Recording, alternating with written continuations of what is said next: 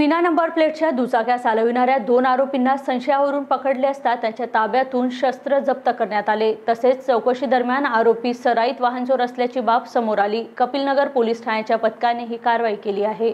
माळा चौक ते टायर चौक या मार्गावर विना नंबर प्लेटची मोपेड व मोटरसायकल संशयास्पद तरुण फिरत असल्याची बाब पोलिसांना कळाली होती. पोलिसांनी सापळा रचून दोघांनाही अडविले.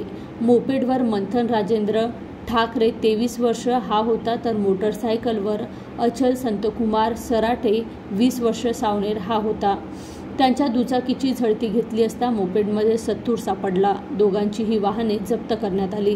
त्यांच्याकडे वाहनाची कागदपत्रे नव्हती व ते उडवाउडवीची उत्तर देत होते. पोलिसांनी दोघांनाही अटक केली. चौकशी दरम्यान अचलने नागपूर ग्रामीण हद्दीतून मोटरसायकल चोरल्याची कबुली दिली. तसेच त्याने आणखी दोन मोटरसायकल देखील चोरल्याचे सांगितले. त्याच्या ताब्यातून ही वाहने जप्त करण्यात आली.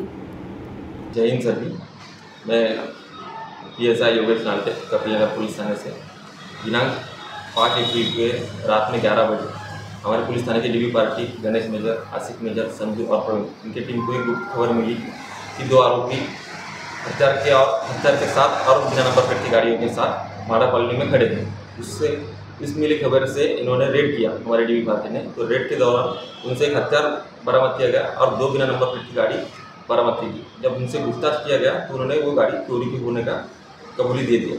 उससे उनके खिलाफ गुना दर्ज किया गया और जब इन्वेस्टिगेशन के दौरान इन्होंने इनके तरफ़ से और दो गाड़ियाँ जो चोरी की है नागपुर के ग्रामीण भाग में से, उनके खिलाफ वो उन्हें ओपन किए गए। कुल मिला के चार गाड़ियाँ हमने उनसे डिटेक्ट की है और ये चारों गाड़ियों के खिलाफ नागपुर ग्रामीण के काटोल, रामटेक और कोंडाली, इन जगहों पे गुने दर्ज है। फ़िलहाल इन्वेस्टिगेशन जारी है।